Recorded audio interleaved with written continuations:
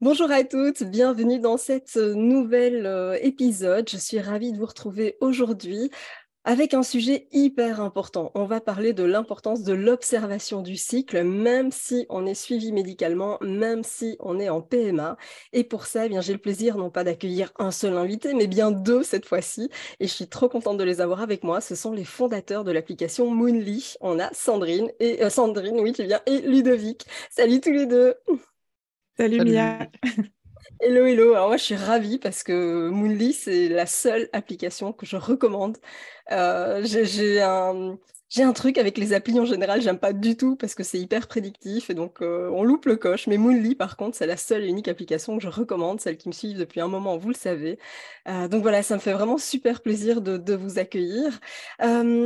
Moonly, c'est une application au départ basée sur la symptothermie. Est-ce que vous pouvez en dire plus un peu sur votre appli, sur qu'est-ce qui a fait que vous avez euh, mis euh, cette application sur pied?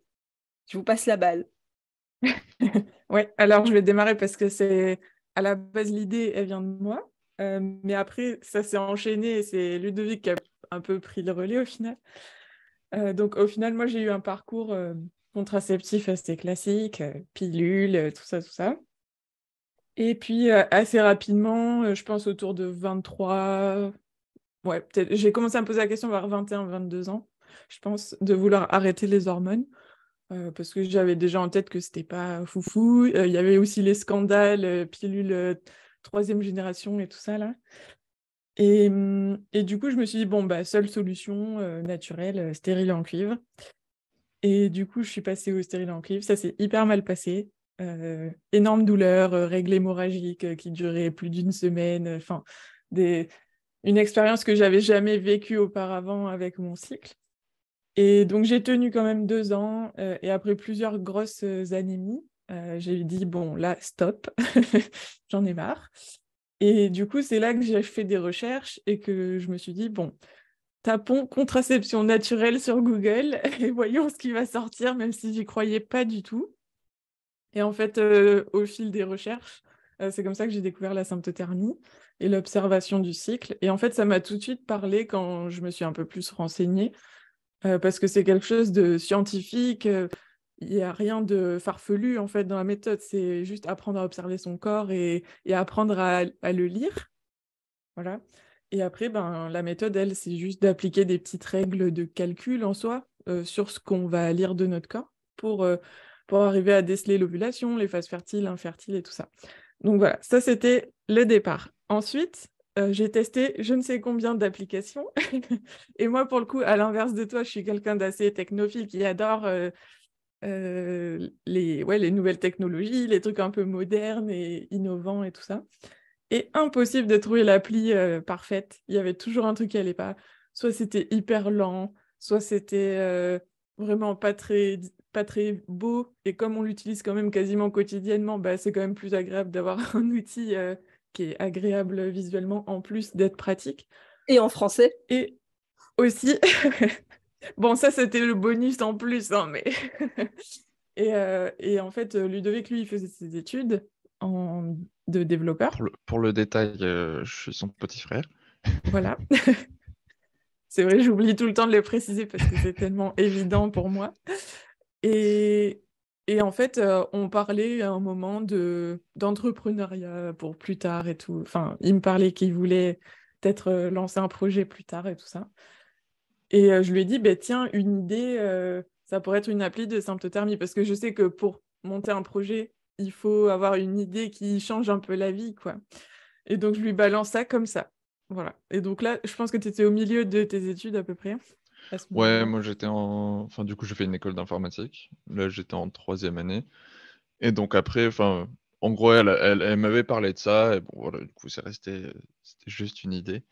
Et du coup, quand j'étais en dernière année, euh, j'ai fait un stage euh, qui était en région parisienne. Et du coup, je suis resté. Je logeais chez Sandrine. Et en fait, après, je suis arrivé à euh, pour mon dernier semestre, c'était soit, euh, du coup, je faisais un dernier stage en entreprise, soit je faisais une création d'entreprise. Et du coup, bah, un soir, euh, tu es rentré et je t'ai fait Alors, c'était quoi déjà ton idée d'application de, de, calendrier de règles ou je sais pas quoi euh, Parce que du coup, du coup, je l'explique la situation. Bon, au final, après, j'ai découvert que c'était pas juste une application de calendrier de règles, que c'était pas si, si simple que ça, etc. Mais c'était ce que j'avais compris à l'époque.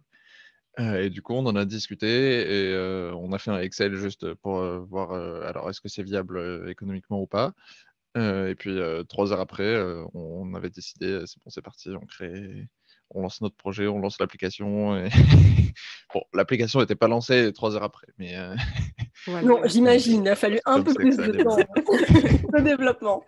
Mais alors, je trouve ça génial à deux niveaux. Le premier, c'est que c'est un sujet dont, voilà, qui pour moi, c'est un enjeu juste de société actuelle. On a besoin de ça.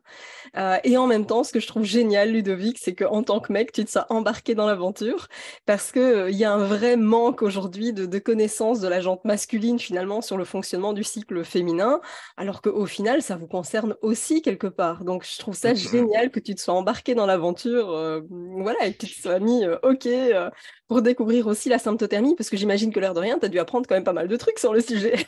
ah ben, c'est ce que, ce que je dis, c'est que aujourd'hui, et entre guillemets, c'est aussi ça montre un problème, c'est que je connais mieux le fonctionnement du, du cycle de beaucoup de femmes et enfin, c'est entre guillemets, c'est pas normal parce qu'elle devrait mieux le connaître que moi, quoi. Et du coup, bah, enfin, c'est à la fois, oui, c'est très intéressant et oui, ça montre qu'il y a vraiment un besoin là-dessus d'avoir des outils qui aident les femmes et, un, problème entre guillemets, enfin, d'éducation, genre de, partage de la connaissance qui fait que beaucoup de femmes sont un peu laissées dans le noir et et sont pas du tout familières avec leur, le fonctionnement de leur propre corps, quoi. Effectivement, et puis c'est vrai que quand on voit finalement, euh, on, a, tous eu des cours de, sciences, de bio, de SVT, hein, selon les, appellations, euh, on vous dit en gros, voilà, euh, utérus, spermatozoïde, ovulation, 14e jour. Voilà Cycle 28 jours. Voilà, cycle 28 jours. Là, tu dis, en fait, non, il y a un gros problème d'éducation.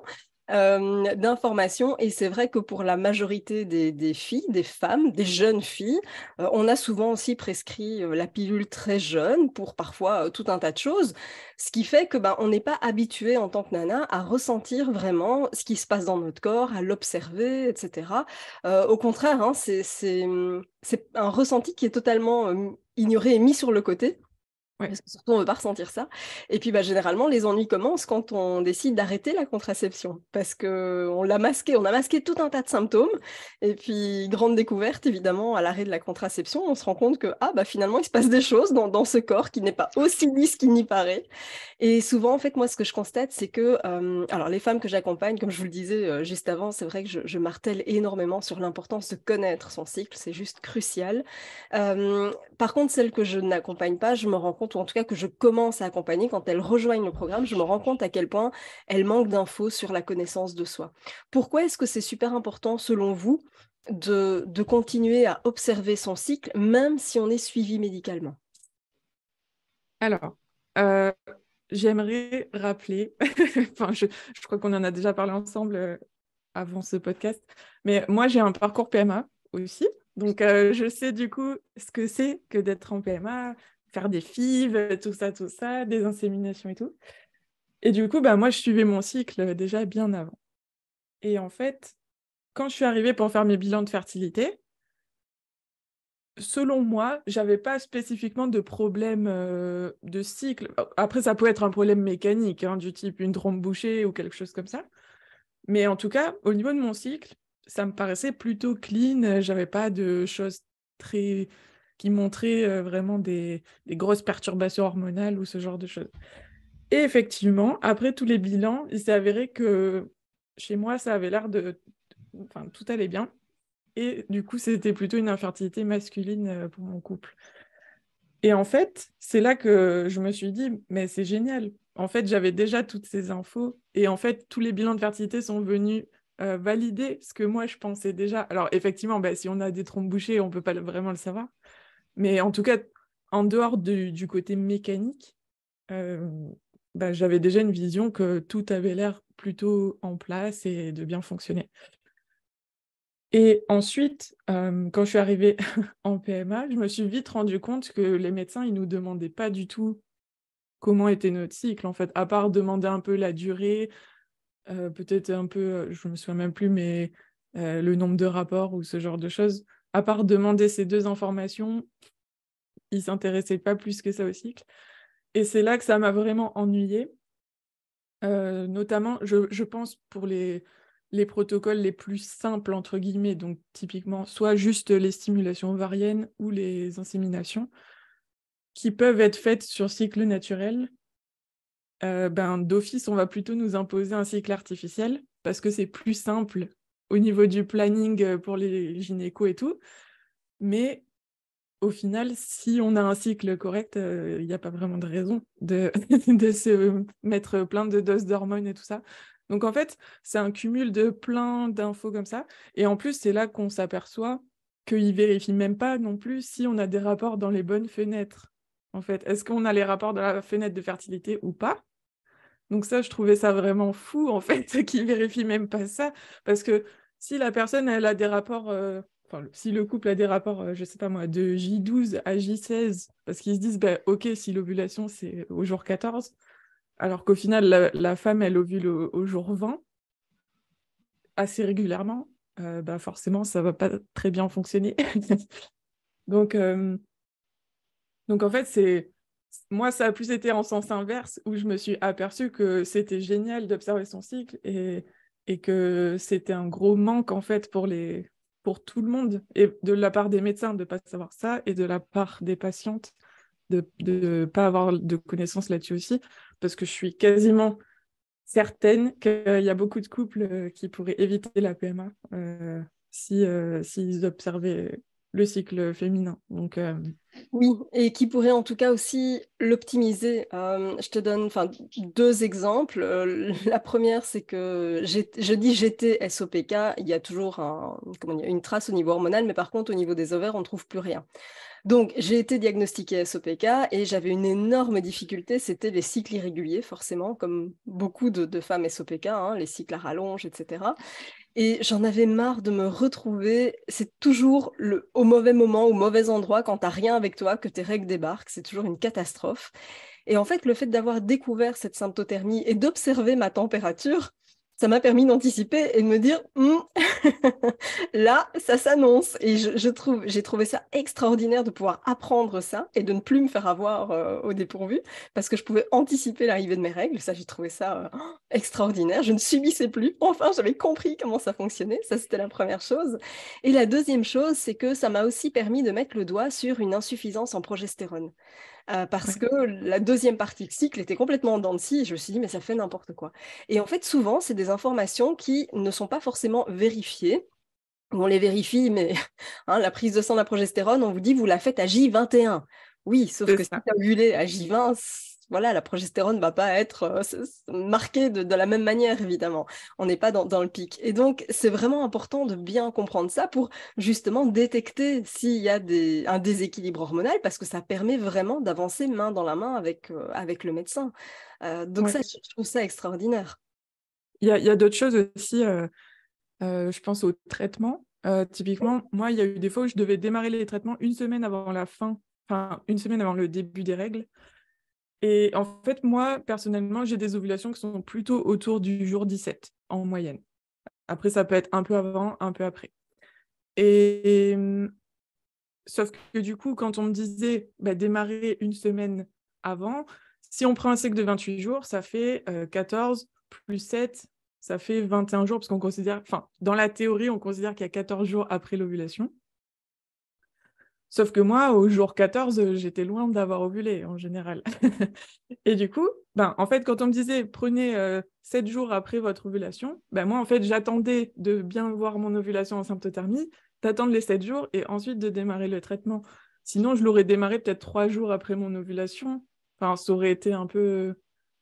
Je sais pas, mais je sais même pas si ça, si ça a des effets. Mais enfin, dans tous les cas, ça aurait pas correspondu au au traitement prescrit quoi donc euh, bah, surtout que quand, quand on, quand on regarde les, les données, en fait, oui, c'est le, le truc de l'ovulation au jour 14. Finalement, c'est la moyenne, mais c'est pas du tout la majorité des femmes.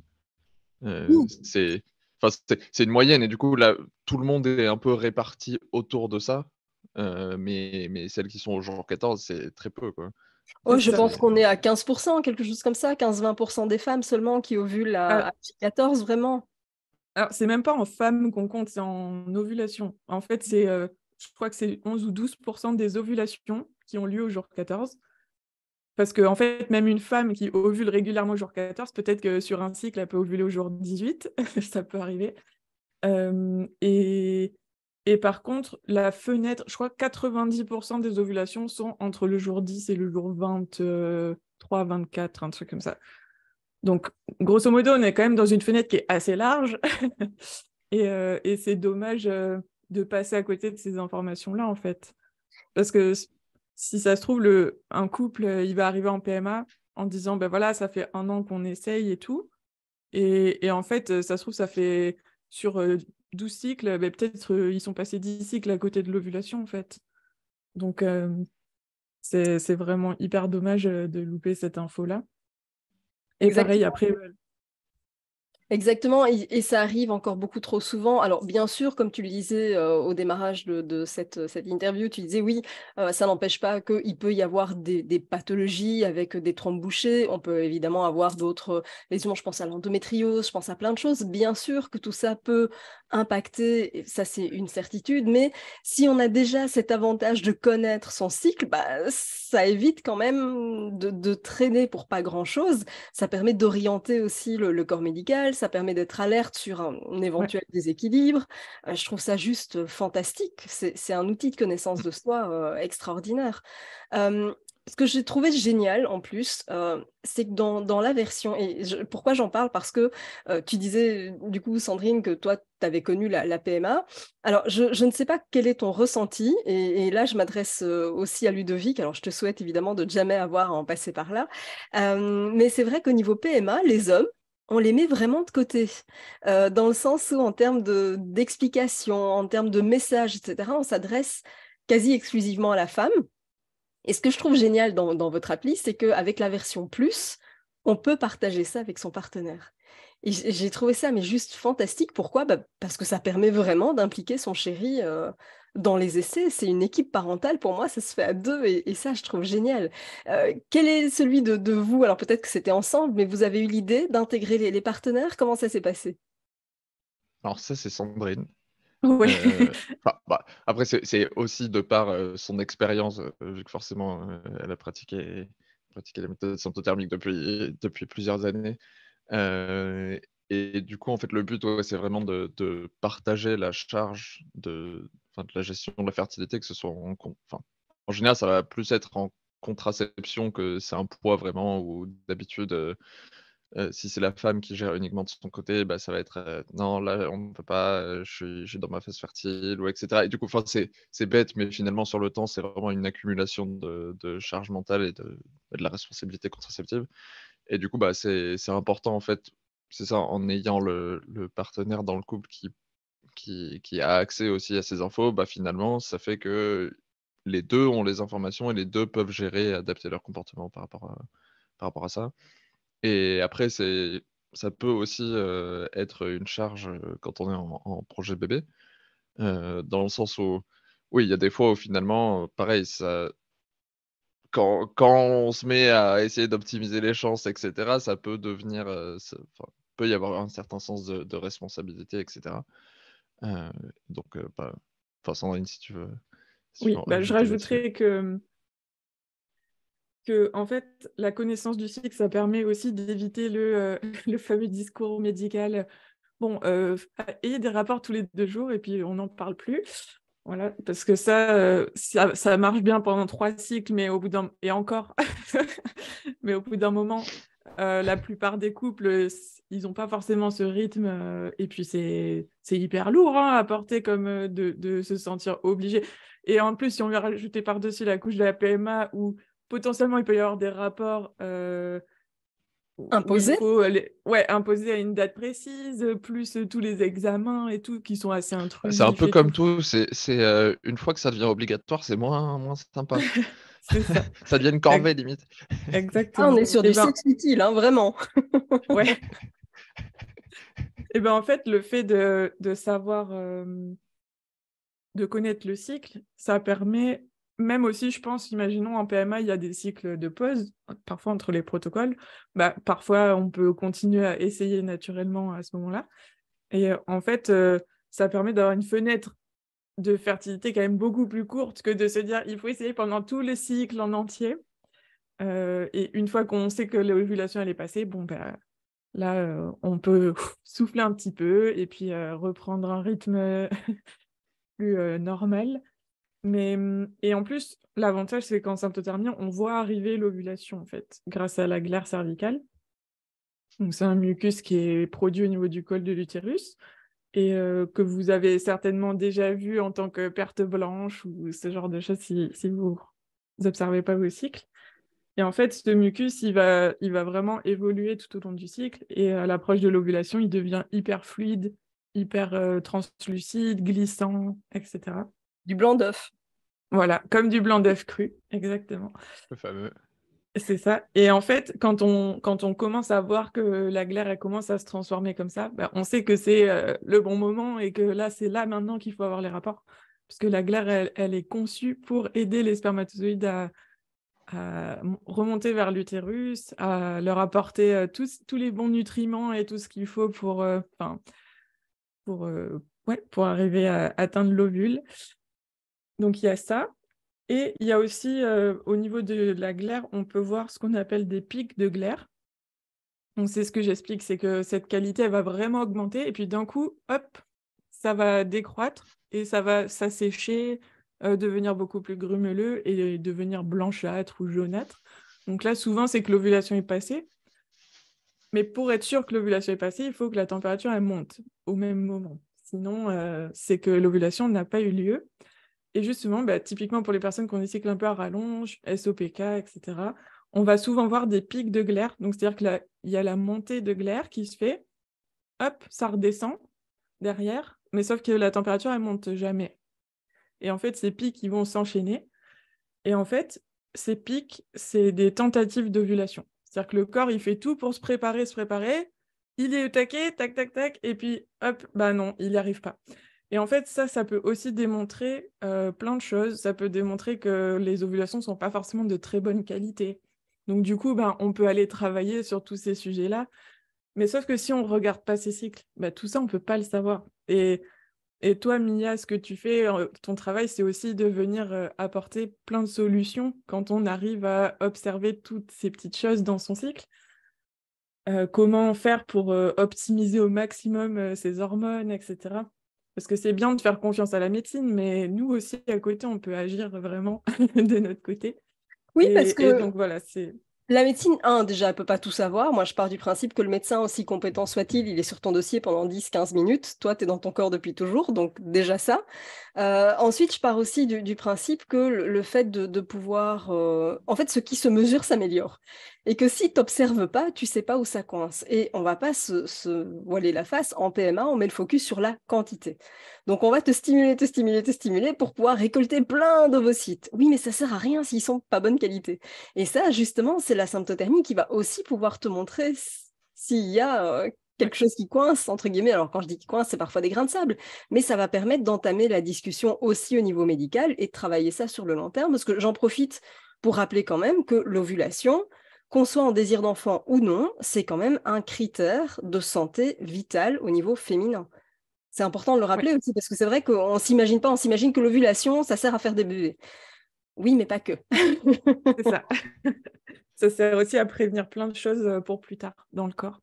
Et plus on a d'ovulation, plus elles sont de bonne qualité et plus on limite les risques d'ostéoporose, de, enfin, je sais plus exactement la liste de tout ce qu'il y a, mais de pour cancer, le futur, en fait, de diabète, il y a énormément de. En fait, c'est fou euh, de voir euh, l'utilité en fait d'avoir une bonne fertilité euh, qui va bien au-delà de juste concevoir des bébés. Et du coup, je vais, je vais juste finir sur les deux, trois points que j'ai en tête qu'on peut lire vraiment sur le cycle de façon assez facile. Donc, il y a les pics de glaire dont je parlais. Il y a aussi la montée de température. donc, souvent, on a une montée de température qui dépasse 0,20 degrés de différence entre la partie basse en début de cycle et la partie haute après l'ovulation. Et en fait, si cette montée, elle est trop faible en, écart entre les, températures basses et les températures hautes, ça peut montrer aussi des déséquilibres hormonaux et potentiellement une ovulation qui n'est pas de très bonne qualité.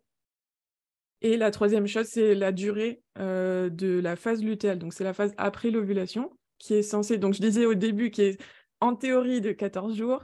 Et puis euh, ça, c'est encore assez euh, récurrent, hein, qu'on entend que c'est 14 jours pour tout le monde et c'est comme ça. Non, pas du tout. En réalité, en fait, ça varie entre 11 et 16 jours, mais c'est une phase qui est quand même très stable euh, chez une et même personne.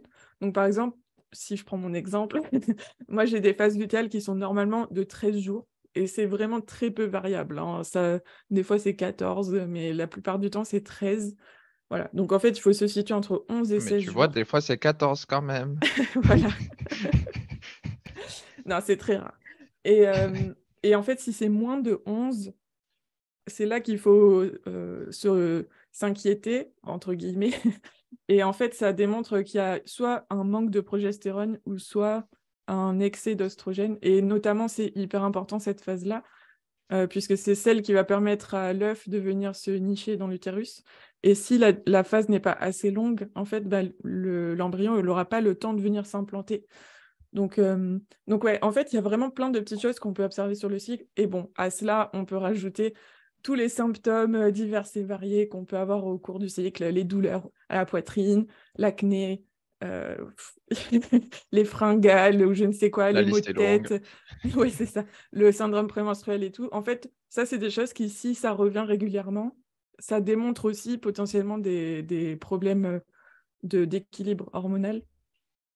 Et donc, euh, bah, c'est des choses sur lesquelles on peut travailler côté, enfin, sur plein de plans, côté nutritionnel, côté exercice physique aussi, j'imagine. Enfin, après, je ne suis pas spécialisée dans comment traiter ces problèmes, mais en tout cas, on, sait comment les observer et, voir euh, qu'est-ce qui revient de façon récurrente. Oui, et en même temps, alors j'ai envie d'ajouter une, fonctionnalité supplémentaire parce que euh, je, sais qu'il y aura des testeuses compulsives euh, qui écouteront cette vidéo.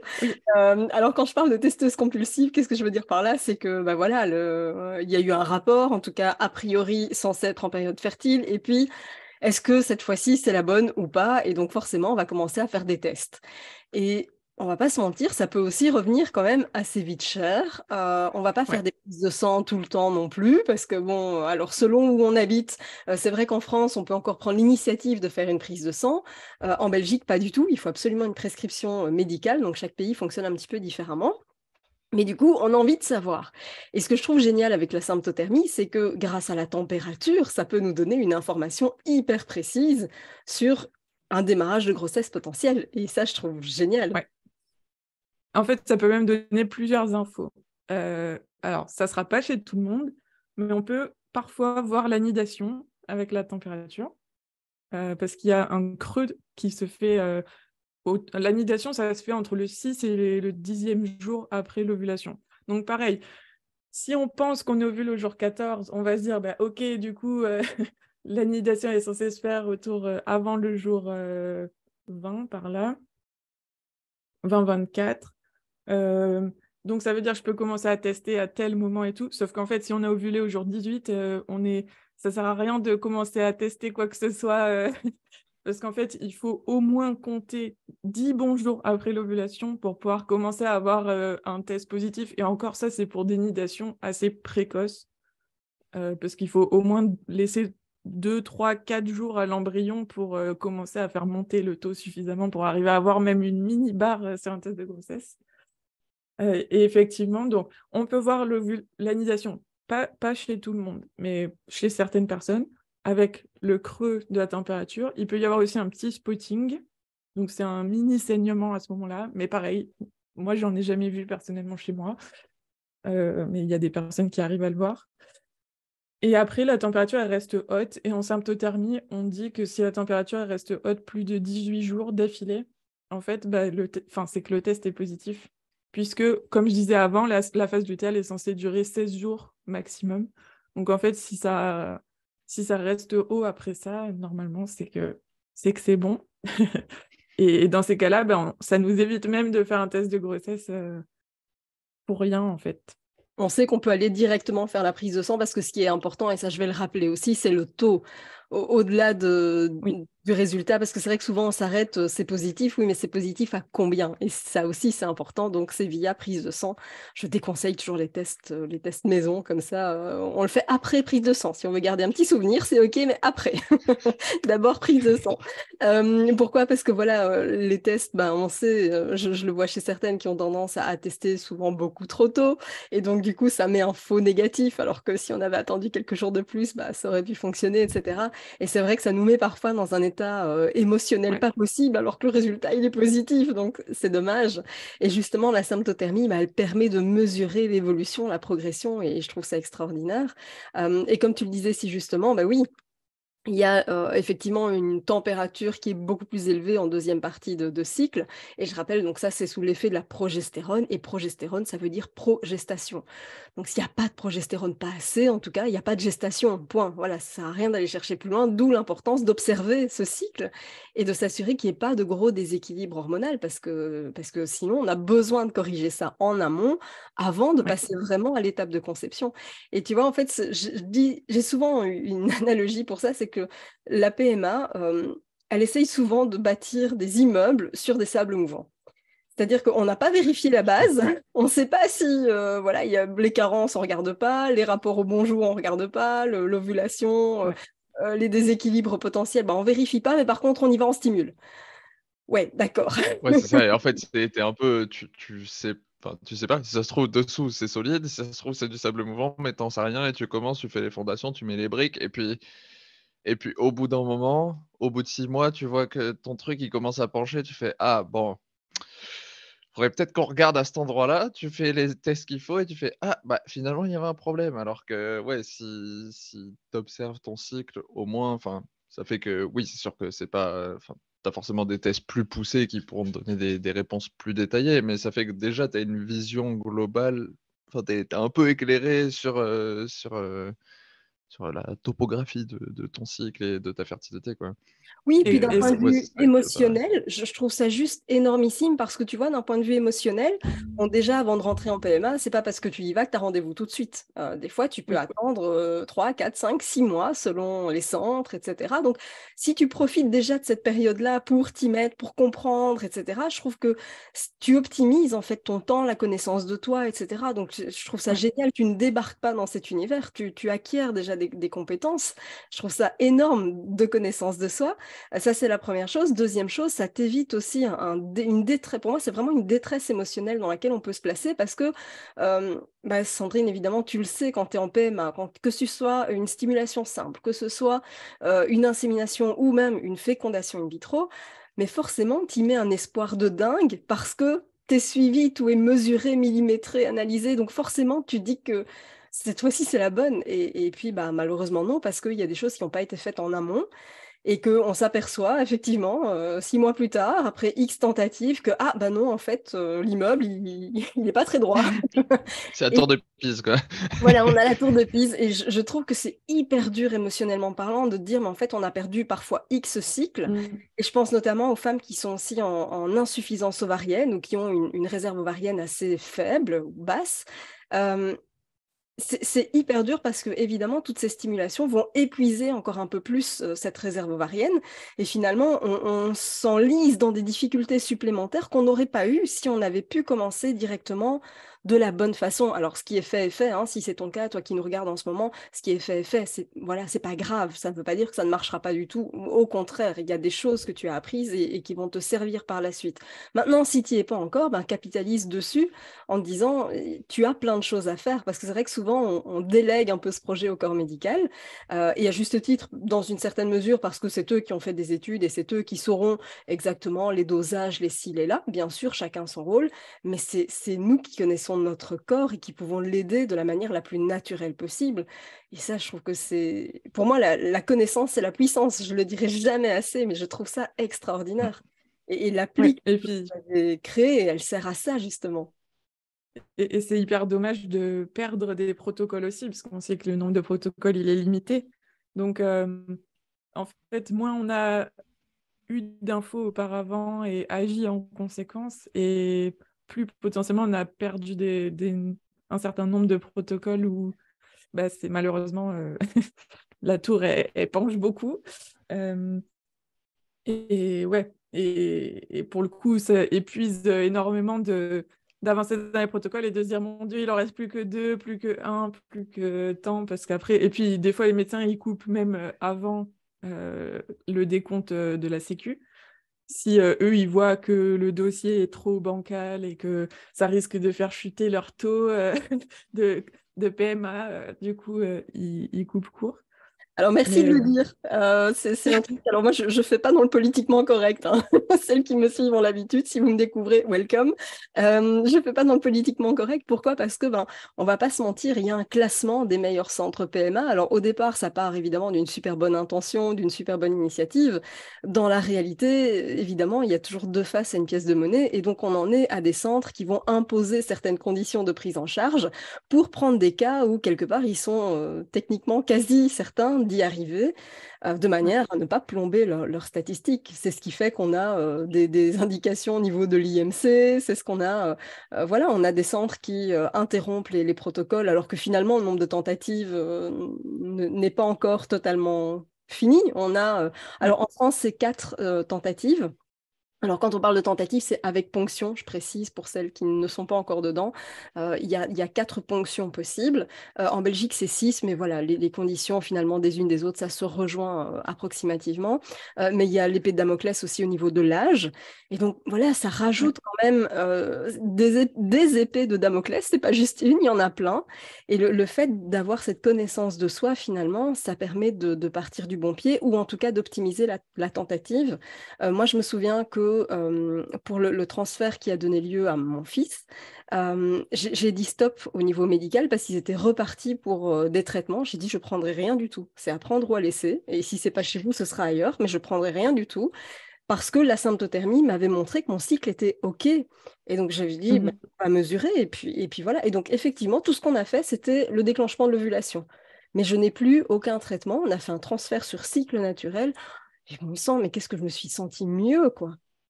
Vraiment, enfin, je veux dire, ça n'a pas de prix. Il ne faut pas oublier que c'est des hormones qu'on prend. C'est pas rien, ça a des répercussions euh, physiques, émotionnelles, enfin, assez lourdes.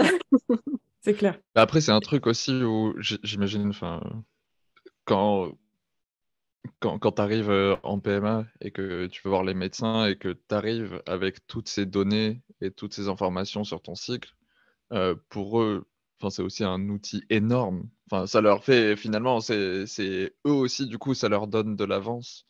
Euh, bah, pareil, ils vont avoir toutes ces infos, ils vont pouvoir euh, potentiellement déceler des problèmes ou, justement qu'il n'y a peut-être pas de problème euh, sur certains aspects.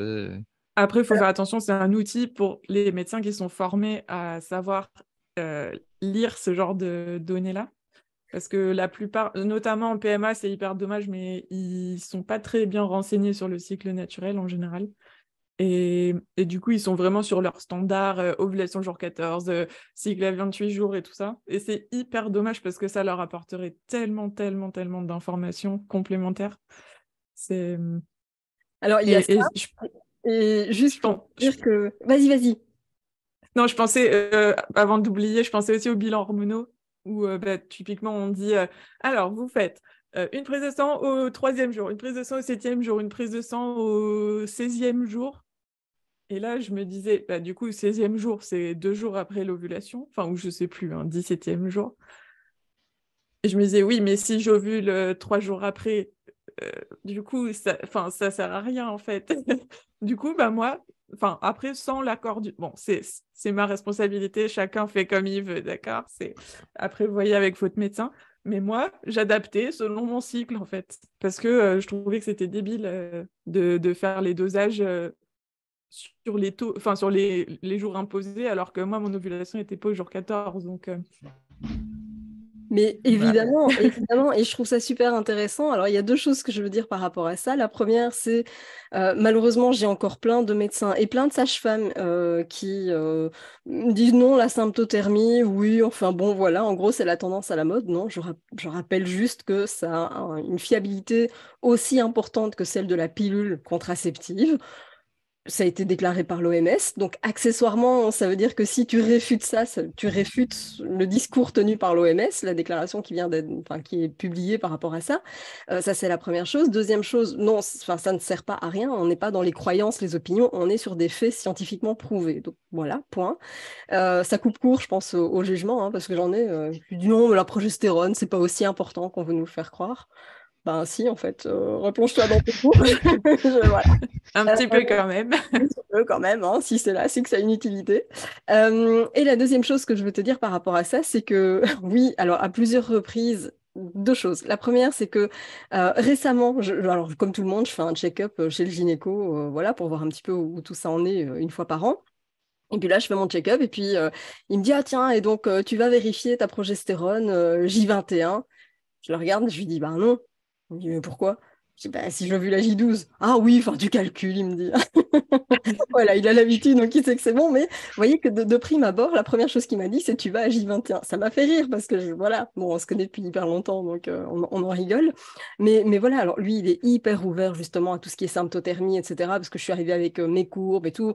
Enfin, pour lui, c'était euh, d'une richesse incroyable. On a rigolé, on comparait les tableaux. Enfin, bref, c'était hyper rigolo. mais je sais qu'ils ne sont pas tous pareils. Donc voilà, ça, c'est important de le savoir. Et deuxième chose que je voulais dire par rapport à, cette expérience-là, c'est que euh, tu parlais des traitements euh, à adapter. T'imagines pas vous n'imaginez pas le nombre de fois où j'ai pris un traitement qui m'a flingué l'ovulation au moment où j'étais en parcours PMA parce que je prends l'exemple du, du faston. Euh, comme j'étais euh, SOPK, que j'avais des, cycles totalement irréguliers, eh bien, on me disait, voilà, euh, à partir de J15, tu prends du faston. Bah ouais, mais sauf que j'ovulais après. Donc, mon parcours a duré 4 ans et demi et il aurait pu durer bien moins longtemps si j'avais connu toutes ces informations-là dès le départ. Donc voilà, c'est ce qui est fait est fait. Et encore une fois, finalement, je suis ravie d'en être passée par tout ça parce que c'est ce qui a fait là où j'en suis aujourd'hui. Donc voilà, ça m'a servi de leçon. Mais bon sang, c'est pas un parcours de santé, quoi. Donc, s'il y a moyen d'optimiser ça, d'équilibrer, de, de l'alléger énormément, enfin, ça fait toute la différence, quoi. Donc, je trouve, voilà, que, ce que vous faites, ce que vous apportez grâce à l'appli, c'est juste énormissime pour la santé féminine. Je trouve ça extraordinaire. Donc, bravo à vous, en tout cas, d'avoir créé, d'avoir créé Mundi. C'est fantastique. Merci. Où est-ce que. Alors, je mettrai bien sûr pour ce. Est-ce que je peux, je peux dire une dernière anecdote? Avant qu'on finisse euh, en fait, euh, moi, ça fait maintenant un bon moment, plusieurs années que j'observe mes cycles et tout ça. Et du coup, bah, quand j'étais en parcours PMA, il y a eu des cycles de pause entre les protocoles où je me disais, bon, allez, flemme de regarder mon cycle, c'est bon, de toute façon, ça va pas fonctionner, euh, etc. Et en fait, j'étais dans tous mes états de pas savoir où j'en étais dans mon cycle. C'était horrible. Euh, franchement, j'ai dû le faire une, ou deux fois et après, je me suis dit non, plus jamais. Franchement, j'avais l'impression de prendre ma voiture, de mettre un bandeau sur les yeux et qu'on me dise allez, vas-y, conduis. Voilà, pour moi, c'est le même effet en fait. Une fois qu'on a la connaissance de son corps, c'est hyper dur de revenir en arrière et de se dire ben non, maintenant je laisse aller et je sais plus où j'en suis. c'est comme si, euh, comme si on roulait à l'aveugle en fait je trouve ça tellement parlant ce que tu dis parce que en même temps, n'oublions pas que le cycle a effectivement un impact aussi sur son état émotionnel. On n'a pas le, même équilibre émotionnel selon le moment du cycle où on se trouve. Euh, non, on n'est pas linéaire, faut arrêter avec ça. Non, et on n'est pas hystérique non plus, expression que je déteste. Euh, hystérique vient du mot utérus, hein, donc comme si c'était réservé aussi. Il faut arrêter avec ça. Ah oui, super. Euh, voilà. Euh, mais je, trouve ça juste passionnant parce que le fait de savoir où on en est dans son cycle, euh, de sentir que bah, on est plus euh, orienté vers les autres, au contraire, des moments où on a peut-être besoin d'un peu plus de repli sur soi, des moments où, quand on a le, fameux syndrome prémenstruel, on est parfois un petit peu plus en mode dragon ou en mode tristesse, ça va, ça va dépendre des unes et des autres évidemment, mais je trouve ça génial parce que ça permet de relativiser et de se rassurer parce que on sait que c'est aujourd'hui et demain ce sera un autre jour et ça va passer. Quand on est dans des moments down, quand on fait le lien avec son cycle, ça va tout de suite mieux parce qu'on se dit ah ok je comprends mieux pourquoi et, et c'est pas grave. finalement une fois que tu sais, tu peux tu peux à la fois enfin t'adapter avec les gens autour de toi, typiquement dans, dans le cas du SPM. Si les autres le savent, bah, au moins c'est plus simple et tu peux être plus compréhensible. Euh, ça permet de potentiellement de, de moins s'en vouloir. Typiquement, si, si tu t'énerves ou que tu es irrité ou truc comme ça, bah, au moins tu vas être en mode oui, bon, bah, voilà quoi, c'est comme ça. Et à l'inverse, ben quand, enfin, a priori, en général, pendant la phase ovulatoire, c'est un peu la phase où euh, créativité à fond les ballons. Ben, finalement, ça, en le sachant, tu peux, tu peux aussi euh, t'organiser autour de ça en sachant qu'à ce moment-là, tu vas être à fond, tu vas avoir de l'énergie. Et, oui, c'est juste c'est des informations qui, qui vont t'apporter euh, tous les jours. Quoi. En fait, c'est ton petit tableau de bord personnel qui te ça. dit bah, là, il y a un warning, mais du coup, j'agis en conséquence. Ou là, justement, c'est feu vert et j'agis en conséquence. Ça permet tellement plus de bienveillance envers soi, en fait, parce qu'on se comprend et du coup, on respecte mieux le cycle normal, le cycle naturel je trouve qu'on est beaucoup plus en accord et que oui, on va se donner à fond certains jours. Et puis, bah oui, il y a des phases du cycle où on sera peut-être un petit peu plus down, un peu plus en repris, en repli, un petit peu plus euh, euh, parce qu'on a besoin de temps, on fonctionne plus lentement, mais c'est OK en fait. C'est OK parce qu'on sait en plus qu'on va compenser à d'autres moments du cycle. Donc voilà, je trouve ça extraordinaire de, comme outil de bienveillance finalement. Et comme tu dis, Ludovic, je crois aussi que euh, en couple, euh, c'est fantastique parce que ça permet d'échanger et que l'autre euh, qui pourrait se sentir peut-être un petit peu plus agressé ou tu sais avec un discours parfois peut-être un petit peu plus sec ou, ce genre de choses, bah, peut se dire ok, je sais où elle en est dans la phase du cycle et je prends ça avec un petit peu plus de recul, de détachement ou juste. Oui, ça, et puis tu peux en rigoler et puis voilà. Voilà. Exactement. si tu savais ce qu'on en rit avec mon chéri, mais et c'est ok quoi, c'est ok. Mais du coup, ça, hum, comment dire, ça évite énormément de clash et je, trouve ça extraordinaire parce qu'il n'y a pas de tension liée à ça, alors que dans des couples, je sais que ça peut évidemment poser, poser problème parce que on peut être aussi gentil qu'on veut, dans certains moments, on a juste zéro filtre et, et tout ce qui sort sort de façon très abrupte. ça peut être compliqué évidemment pour l'autre à encaisser qui se dit mais avec quoi elle vient Donc je, trouve que c'est vraiment un outil euh, voilà, extraordinaire. Où est-ce que... Alors on peut vous, vous retrouver, je mettrai bien sûr les liens dans la description de cette vidéo. Euh, vous êtes dispo évidemment que ce soit sur iOS ou Android. Vous êtes disponible pour euh, les deux versions.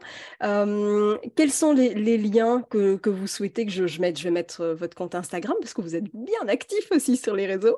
Oui, bah, c'est un peu notre réseau de prédilection parce que je trouve que c'est un réseau où on peut créer un peu une communauté et, vraiment échanger et tout ça. Donc c'est vraiment chouette. après, bah, tout est sur notre site euh, moonly.health. On a des articles, on a un podcast aussi qui s'appelle Sans hormones, où on parle de fertilité au naturel et euh, de sujets un peu annexes autour de ça, avec des invités. Euh, qu'est-ce qu'on a d'autre? On en a plein. Bah, du coup, on a, on a notre site, donc Moonly Health, donc Health Santé en anglais. après aussi, ça du coup, c'est faut passer via l'app pour y accéder, mais on a un serveur Discord euh, qui est. Enfin, du coup, c'était des utilisatrices de l'appli euh, et qui peuvent échanger sur, euh, sur pas mal de sujets. Donc, il y a des, des salons sur contraception, conception. PMA. ouais. bon, il y a, y a plein de trucs. Mais du coup, c'est vraiment une petite communauté qui est assez active. Donc, ça peut être assez intéressant pour les, pour les filles, qui, enfin, pour les personnes qui cherchent des infos. Euh, c'est génial parce qu'on se sent tellement seul dans ce parcours que tu vois pouvoir euh, euh, et même interpréter la courbe de température, etc. Je sais que vous êtes vraiment hyper actif justement pour donner des explications sur comment on interprète et tout. Et ça, vraiment, je trouve ça extraordinaire.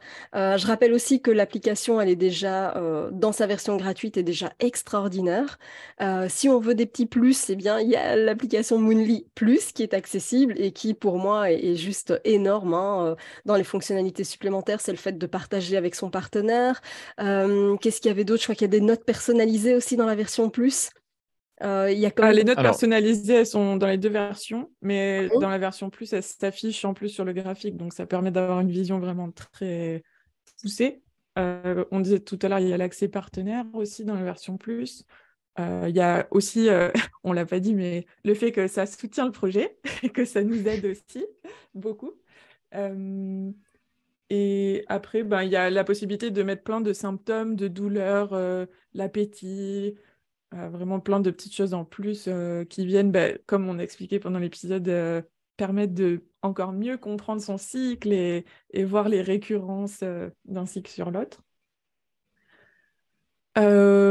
et après, en fait, en gros, si vous allez sur notre site, vous aurez à peu près toutes les ressources nécessaires. En fait, on a fait en sorte que ce soit un écosystème où quand on arrive sur Moonly, on a tout ce qu'il faut pour bien démarrer, bien se former, avoir les infos accessibles et tout. Euh, y a... parce que c'est un truc que toi, de par ton expérience, tu as, découvert, c'est que c'est un sujet où quand tu t'y intéresses, c'est bien, il y a des ressources, mais c'est vraiment, il faut aller tout chercher soi-même et il faut aller, faut trouver les, les bouquins, les, e-books, les articles, les articles, faut aller d'un autre côté, euh, déjà découvrir le fait qu'il y, a des, il y a des formatrices euh, qui, qui, permettent d'apprendre la méthode vraiment de façon, de façon poussée et accompagnée. Oui, parce que sur euh, Internet, ça, tu trouves ça, tout n'importe quoi. Oui, c'est ça, mais ça, si tu n'es même pas au courant, bah, tu vas même pas aller le chercher. Euh... Bon, enfin, du coup, c'est tous ces trucs-là, et en gros, ben ouais, nous, notre but, c'est que Moonly, t'arrives, on te donne toutes ces ressources, tu as toutes les clés en main pour pouvoir démarrer et accéder à tout ce que tu as besoin, quoi. Voilà. Il y a le thermomètre parce que c'est un thermomètre un peu plus précis que ce qu'on trouve en pharmacie. Du coup, on a fait un petit shop où, euh, où les thermomètres sont hyper accessibles dessus. Et aussi, on n'en a pas parlé, on a fait un petit e-book gratuit qui reprend toutes les notions de base euh, de la méthode. Alors, c'est pas avec ça que vous allez vous former entièrement, clairement pas. Mais au moins, ça permet de comprendre ce que c'est, euh, les mécanismes de la symptothermie et se rassurer aussi sur euh, le fonctionnement, parce que moi, je trouve, enfin, voilà, ce côté rassurant que moi j'ai eu quand j'ai démarré, que j'expliquais au tout début, bah, j'ai envie de le retransmettre aussi euh, à toutes les personnes qui découvrent, parce que ça peut faire peur au début.